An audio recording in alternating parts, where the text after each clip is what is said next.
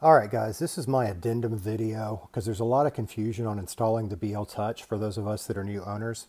I'm going to start by saying I'm brand new to 3D printing. I don't know what I'm doing. I'm figuring it out as I go along. I bought my 3V2, right? I added the yellow springs. I decided I wanted a BL Touch, so I bought one. And then I watched all the install videos online and got confused as all get out. And I think where the confusion comes from is there's different kits and a lot of the popular videos have a different kit. So let's go back to the basics. I have an Ender 3 version 2. The kit I bought online is this one. If you bought any other kit, then this video doesn't apply to you. I got on Amazon. I ordered this kit for about $50. Okay, here's the information on it right here. And now let's hop on to the computer and talk about that just a bit more. All right, here on my computer, I have the exact kit that I bought pulled up. Now, I didn't buy from this particular vendor. Honestly, I don't remember who I bought from. Uh, I don't endorse any vendors, buy from whoever, but you can buy direct from Creality. This is the kit I got, and this is the addendum video for this kit. There are a couple of things to note. First of all, you've got your BL Touch, and it comes with three different brackets. Follow the instructions and use the one that's appropriate for your printer. In my case, it's the 3V2. Now here's where a lot of the confusion comes from. A lot of the popular videos use a different cable. They have an adapter board, they have this end, but this end is a black, is two black connectors. One of them is a servo connector. None of that applies to us. Get that out of your brain. This is super easy and super simple. You have this end and you have this end. You can follow along with the videos to install your bracket, to install your BL Touch. There's the little end of that wire plugged into the BL Touch. The big end plugs in here. Follow the videos. You have to remove that screw. Excuse me, Mr. Octopus. You have to go under here undo that cover to access your main board. I'm not going to do that. There's plenty of videos that talk about it. However, when you unplug your main board, it's going to look like this, except you're going to have wires plugged in everywhere. Now this is the 4.27 board. Doesn't matter. I pulled this up just to show you one feature that it does in fact share with the 4.22 board. That literally says BLT. This is literally where you plug your cable in if you bought the same kit that I bought. You don't have to mess with any of that other stuff that some of the other videos talk about. The difference is when you open up your main board, you're going to have wires covering all of this and plugged in all of these places, right? Okay, so what you're going to need to do is, uh, you know, in my case, I had to undo a zip tie that was holding the bundle together. You're going to take the wide end of your cable and you're going to gently plug it in here. Now what I had to do to do that, um, th there's a connector that's hot glued in here. So I didn't mess with it other than I cut off the zip tie and I gently moved those cables out of the way so I could plug my connector in.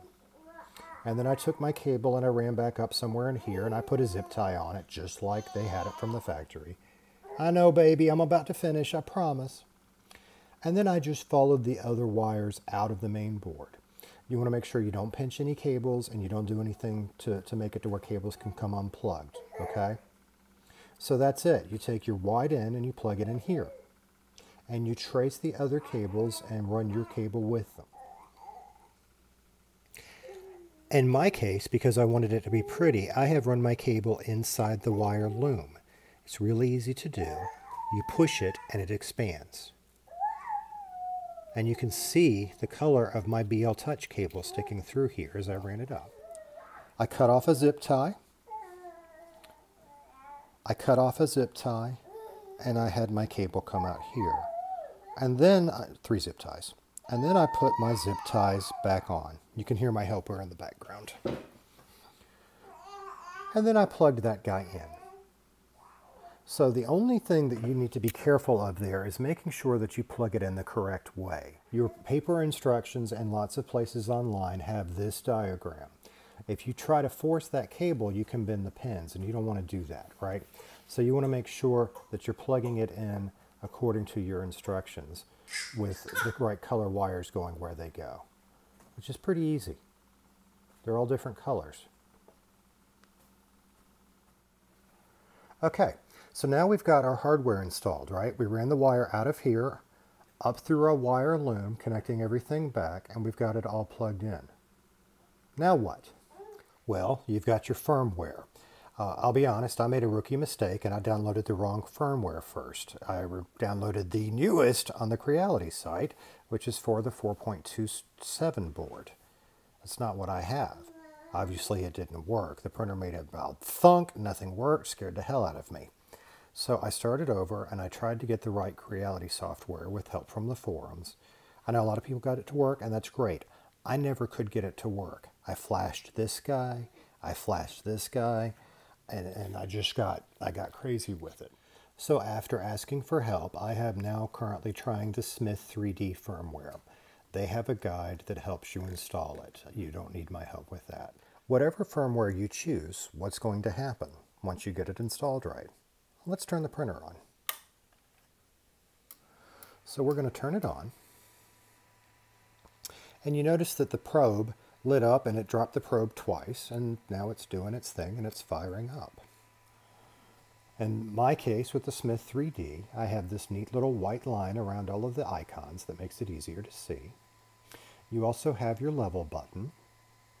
But right now I want to do something uh, for other newbies. This scared the heck out of me. Your auto home button, right? You're used to when you hit that, your print head moves and it comes up here to zero zero. Well, now that we have a probe, that's not what happens. It's going to start and it's going to look like that. And I thought everything's great. And then mine started doing this. And I freaked out. Oh no, I did it wrong. Nope, that's just fine. This is your new home. So it went and it found its X and its Y, and now it's probing for Z.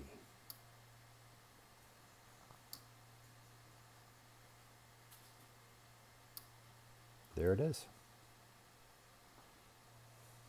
So you're going to have to adjust your Z offset.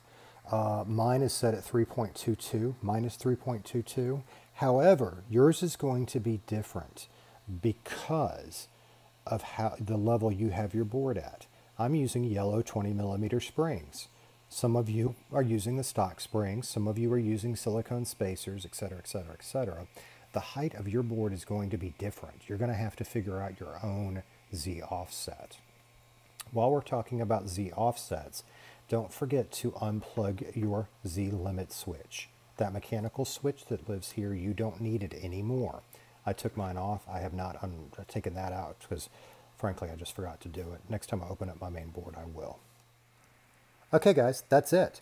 Uh, from there, you should be set up and running and then go watch other videos learning all about your BL Touch and how to use it and getting into arguments over whether it's needed and whatever else. For me, it's 50 bucks. It was a quality of life issue. I am really pleased with it. I've been using it for about a week now. Yeah, I still level. I do because I'm OCD. Uh, but I don't do it near as often. And between that and the Yellow Springs, pretty much I can just print. My latest project is uh, this little guy, learning all about Raspberry Pis. I might do videos on those later. Okay, that's it. I hope this video helped you just a little bit. We're going to hit auto level. I've got it set up to do the big one right now. So it's going to go down there. It's going to check over here. And it's you've seen this in 8 million other videos, so I won't show all of this. But now it's working. It's doing its thing. I hope some of y'all found that helpful. Uh, again, I'm brand new. You asked me a bunch of technical questions and my eyes are going to glaze over because I don't know. I just know with this new kit, wiring it is straightforward and simple. So good luck with it and we'll see you guys around.